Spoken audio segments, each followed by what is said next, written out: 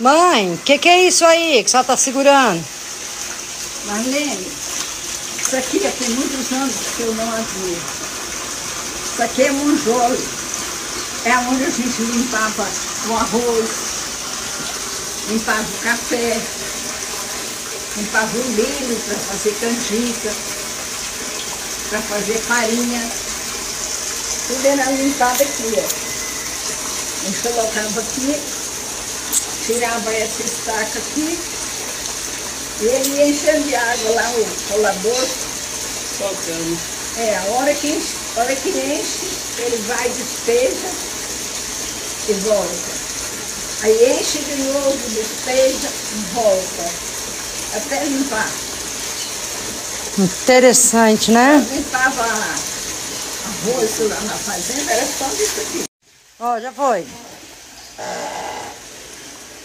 Gente, olha só que interessante, ó. Quando ele enche de água, ele derrama água lá e bate. É isso, mãe?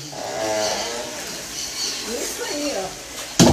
Tinha lá na fazenda da casa do meu avô, né? Que a senhora estava falando. Lá na fazenda do meu pai. Que legal.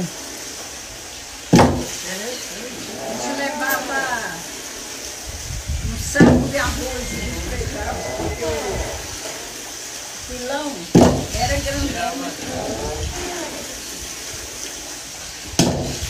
Muito bom.